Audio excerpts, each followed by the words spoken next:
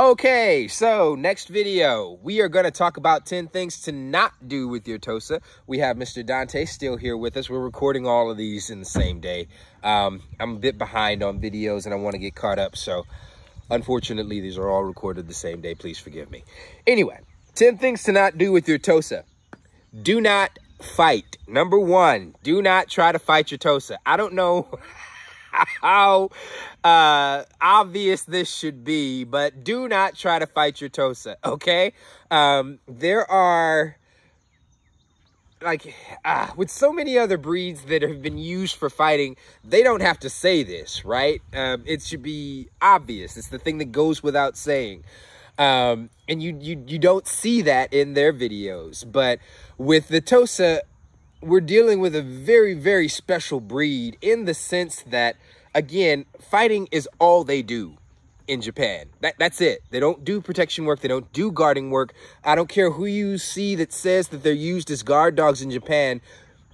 That is entirely antithetical to everything they want in a Tosa dog over there. And anybody who says that they're used as a guard dog obviously hasn't spent much time talking to a dog man.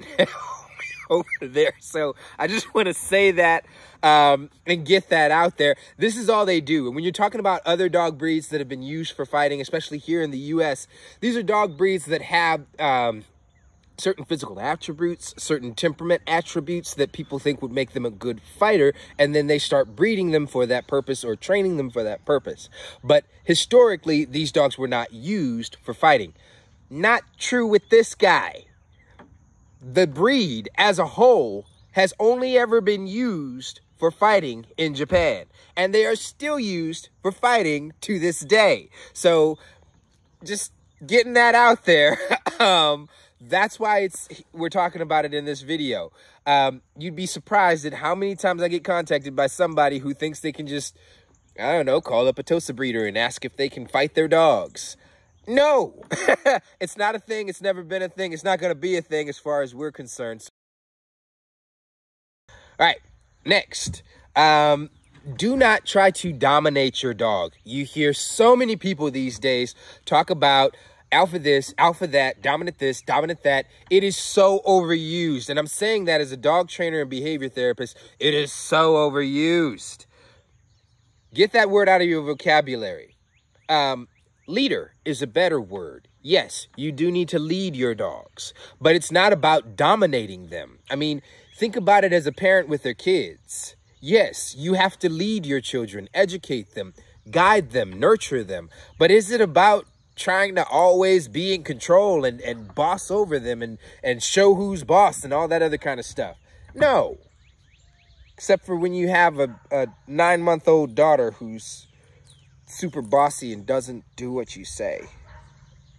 Anyway, um, that's not that's neither here nor there. Um, anyway, when we're talking about dogs, if you try to get into the realm of domination, um, there are certainly some Tosas who are happy-go-lucky and they don't really care, and you'll get away with that. But there are other Tosas who are very much sensitive to that and aware of it. And if you get into the realm of trying to dominate, boss, coerce these dogs, you're going to end up getting in front of a dog that would rather die than lose. And when we're talking about a dog of this size being more willing to die than lose, you're going to end up in a very, very dangerous situation very, very quickly. So when it comes to it, do not try to dominate your dog. You can earn their respect. You can earn their trust. You can be their leader without having to always have conversations about who is out for this, out for that, out for that. So anyway, I'm going to get off that soapbox. We're going to move on. Um, do not half train your TOSA. And I'm going to go ahead and say that again. Do not half train your TOSA. Whatever you do with your dog, do all the way. Complete it so that you don't end up in situations where you are relying on training that's not all the way there. You can get in a lot of trouble very quickly. Um, so don't half train. Don't go for budget training where you can get the um, five classes or 16 classes for a hundred bucks training that's going to get you a certificate at the end that allows you to go places where you're going to encounter things that are real world situations, you know? Um, when you train your TOSA, make sure you have someone who knows what they're talking about and go all the way through the training, whatever it is. Um, go all the way through whatever training you're, you're paying for, you're, you're getting. Uh, do not skimp on that. Retirement. Do not try to retire your TOSA. And this honestly goes for any dog. There are some dogs that will happily quit working at the age of five years old and they can retire and go out to pasture and be nothing more than just a happy house pet, a mascot, you know? And then there are some dogs. I knew, I knew of a husky female that, um, let me see here. She ran, the relevant dates are 9 and 13 and ages are 9 and 13. And I want to say she had her last litter at the age of 9.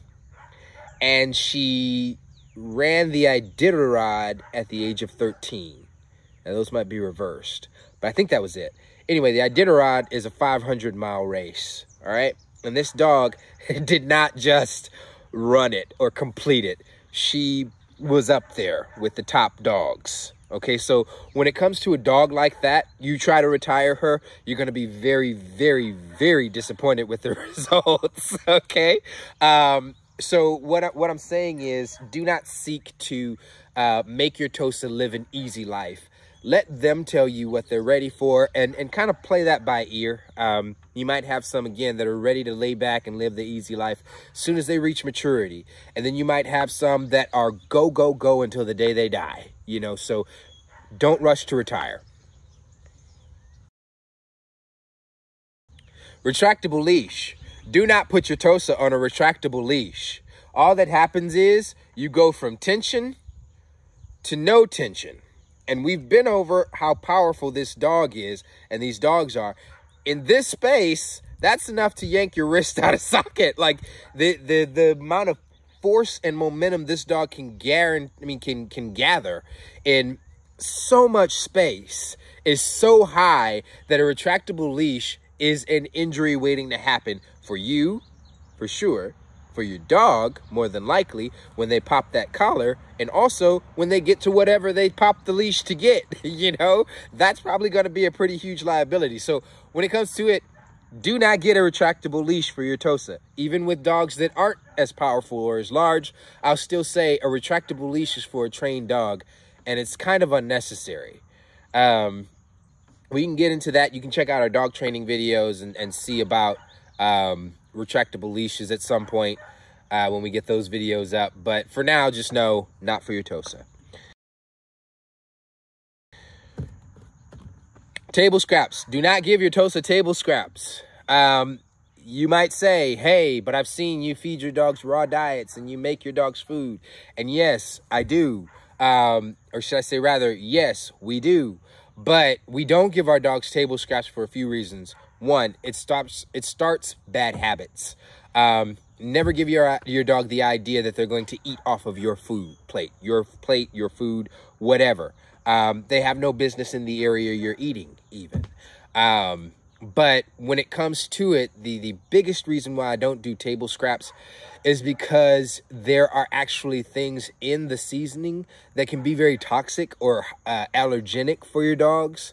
Um, you don't want to do that. As a matter of fact, um, one of the most unfortunate cases I've ever had, the uh, tragedy of working with was a dog that was fed nearly exclusively people food. Um, I can't give more information than that without letting, without doxing that, doxing these people. So I don't want to do that. I'm not here to shame them. Um, they they didn't know any better. But when it came to it, that dog was extremely unhealthy compared to what is uh, standard for that dog and their breed, and um, he actually passed away from something that was I mean, super basic, super rudimentary, uh, an exercise level that you wouldn't even consider exercise. And he, his heart exploded, you know. So when it comes to it, do not feed your dog table scraps. Okay, next up, we're going to talk about tie outs and crates. tie out cables and, and crates in general are not a bad thing, but they are not for untrained dogs. And that goes for any dog. Um, they are not a good substitute for exercise tie out cables. Um, they are not a place for your dog to be happy all the time. People who leave their dogs crated um, all the time. No, it is a holding place. It is a small space. And while it might be comfy and familiar, it's not a place to live their lives. You know, so when it comes to it, uh, further, when we're talking about TOSAs, tie-out cables and crates are for dogs that want to be there. Long story short, I've had TOSAs that come straight through a crate I mean, straight through it. I don't care what kind of crate you made, they will go straight through it if they're properly motivated. Same thing with the tie out cable. Um, I've not met a thing that I could tie my dog to that they didn't work out, aside from a properly established full grown tree. Small trees, young trees, they've uprooted. Uh, fences, they pulled down. Um, I had a dog tied to a, um, tied to a, a, uh, support beam for a porch, for a patio uh, on a house. And that dog pulled that support beam right out. So when it comes to it, um, I do not recommend these for untrained dogs. I, I would say it's fine for a short period of time for a dog that is uh, trained and or used to that sort of thing. But if you have a dog that is um, you know, for whatever reason, displaying signs of discomfort with an activity and you, excuse me, you put them in a crate and continue that activity or put them on a tie-out chain and continue that activity, um, you're asking for it. You're going to get whatever he's going to do. You know, and same idea. If you have a TOSA on a tie-out chain and somebody's uh, dog is running by, and again, you did not socialize your dog or train your dog at all, they will happily rip up that tie-out cable and go right to doing whatever they're going to do. Sniff the dog, play with the dog, fight the dog, whatever it is, they're going to go do it. So tie out cables, crates, reserve those for trained dogs.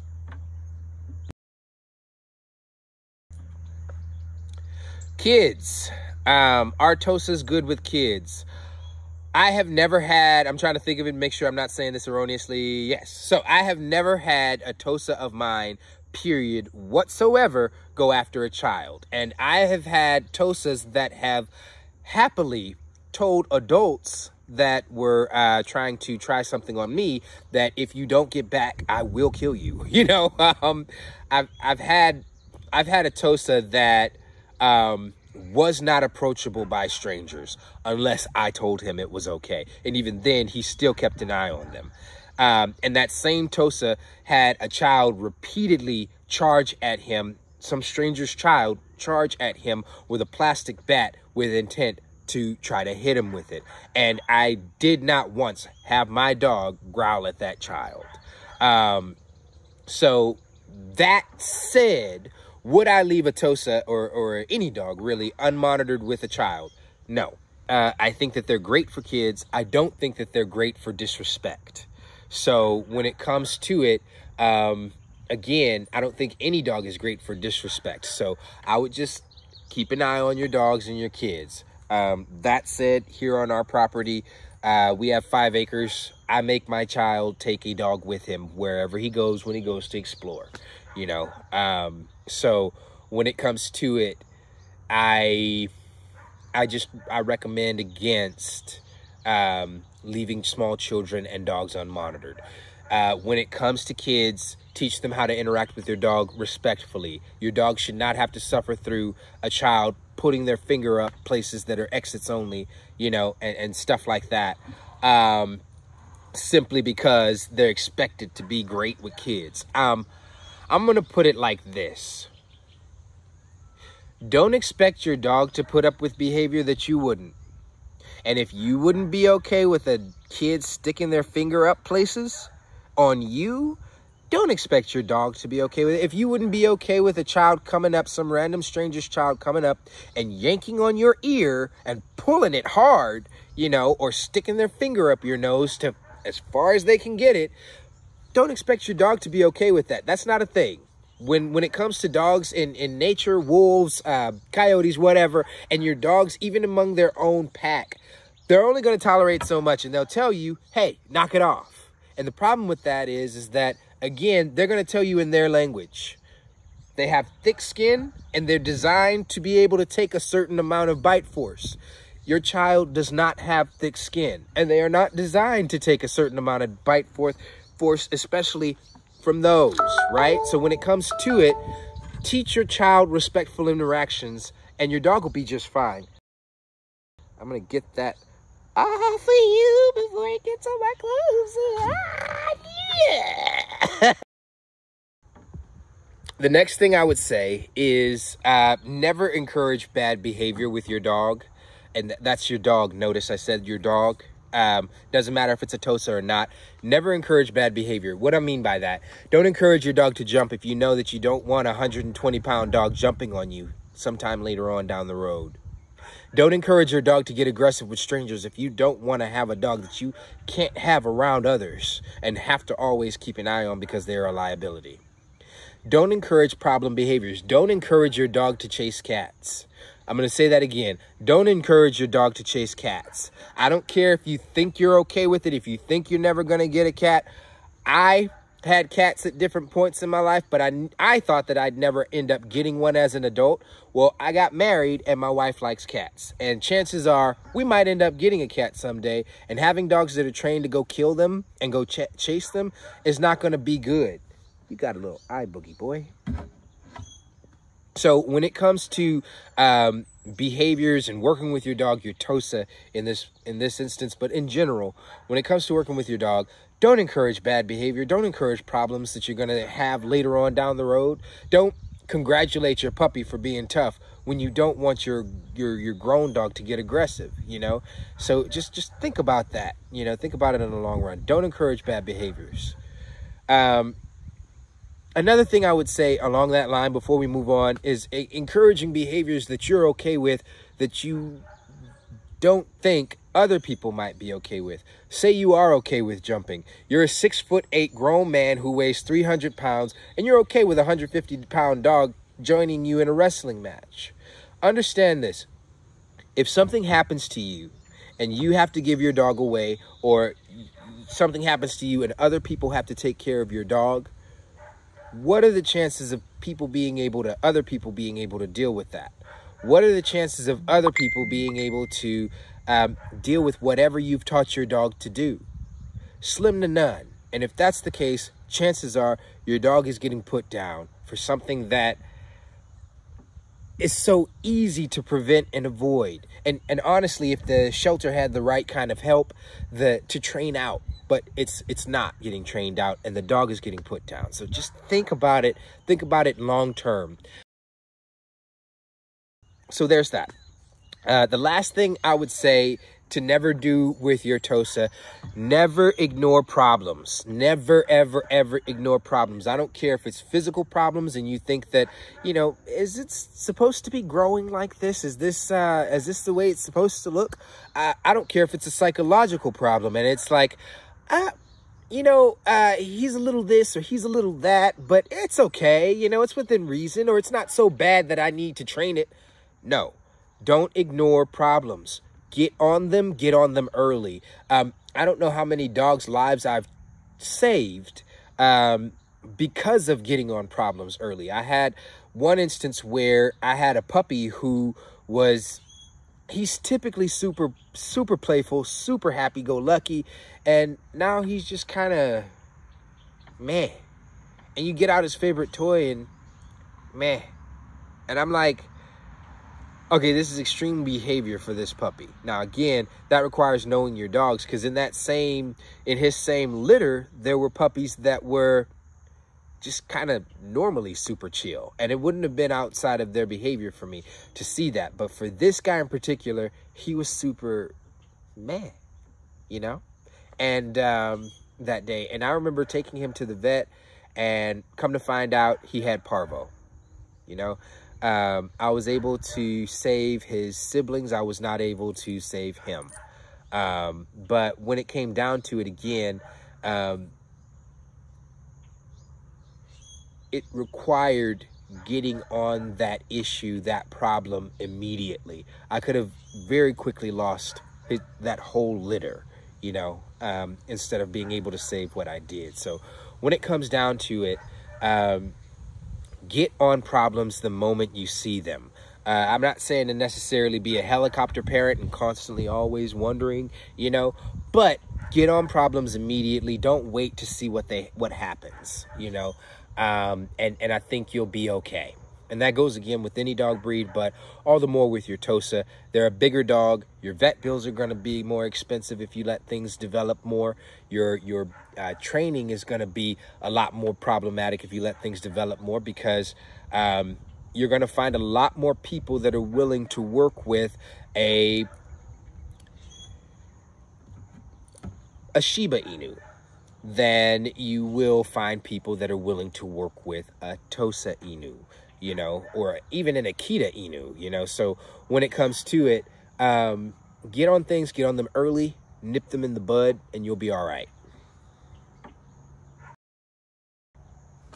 Thank you guys so very much for checking out our channel, for watching our videos. I hope I wasn't too boring. Thank you for for uh, for following us or watching us. If you do not already follow us, please follow. If you have not liked this video, please like. Um, and uh, please subscribe and you'll be able to keep up with the next videos we put out about Tosas. Um, we love what we do here. It'll, there'll definitely be more videos.